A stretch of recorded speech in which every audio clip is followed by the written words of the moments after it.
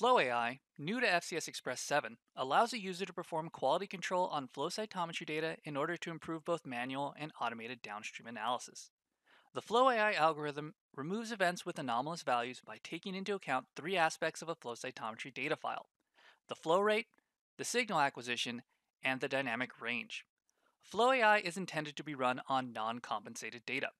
By default, FCS Express applies the compensation matrix associated with your loaded data file, or the compensation default set on your layout each time a new file is analyzed. Because Flow AI requires non compensated data parameters, the following steps should be performed prior to using Flow AI. In the layout options, accessible from the ribbon under File, Info, Layout Options, navigate to the compensation options and set the new compensated parameters should to append to data after uncompensated parameters. Then click OK. Next, insert a plot containing a file from the desired dataset to clean. This will allow for both compensated and non-compensated parameters to be selected when performing FlowAI. In FCS Express 7, the FlowAI algorithm is provided as a predefined pipeline step. To add a pipeline, open the Tools tab on the ribbon and select the Transformations Editor. Click on the plus icon in the Transformations Editor to select a new pipeline. In the pipeline options, you can select a gate from the dropdown to run all downstream pipeline steps on a predefined population, select the template file to run the pipeline on, and select the parameters to include in the pipeline. For Flow AI, we need to make the non-compensated parameters available to the pipeline. To do that, first select the plot on the layout containing the desired data file. Next, click on the ellipsis to the right of the template file field and select the option Select Template from Selected Plot. Note in the parameter list, the compensated parameters have been appended with the suffix comp, non-compensated parameters contain no suffix and are listed above the compensated parameters. For Flow AI, check the boxes next to the non-compensated parameters plus time and scatter. Next, we need to add the Flow AI predefined pipeline step.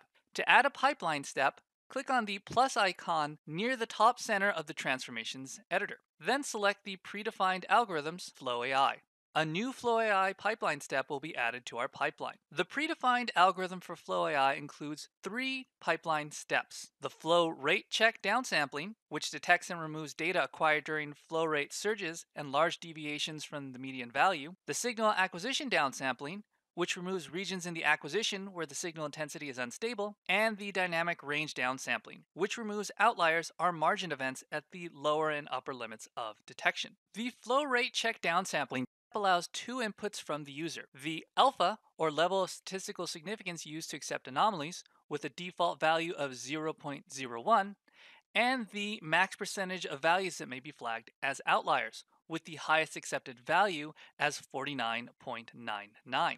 The downsampling action section is available in all three Flow AI steps and allows the user to create a new parameter for that step, the downsampling mask, by selecting the Create Mask parameter. If a mask parameter is selected, sampled and unsampled events will be accessible under the label provided in the downsampling mask name field. If no mask is selected, only downsampled events will be available as the result of the transformation. The signal acquisition downsampling allows the following customizations. Set the penalty value for the change point algorithm. The higher the penalty value, the less strict the detection of anomalies. The number of events in each bin, the max number of change points that can be detected for each channel, and the minimum number of contiguous bins. The dynamic range downsampling allows for the following options. Use PNR for upper limit. When checked, the range or PNR keyword for the selected parameter will be used as the upper limit of values to include.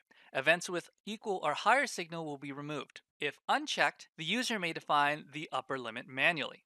Use z-score for lower limit. When checked, the lower limit will be set to the z-score method in the original FlowAI publication. When unchecked, the user may define the lower limit manually. Note that each step includes appropriate defaults, and FlowAI can be run immediately once the defined pipeline step has been added. To run the FlowAI pipeline on your data files, simply drag and drop onto the desired plots on your layout. Once applied, the plot title will show the suffix pipeline transformed.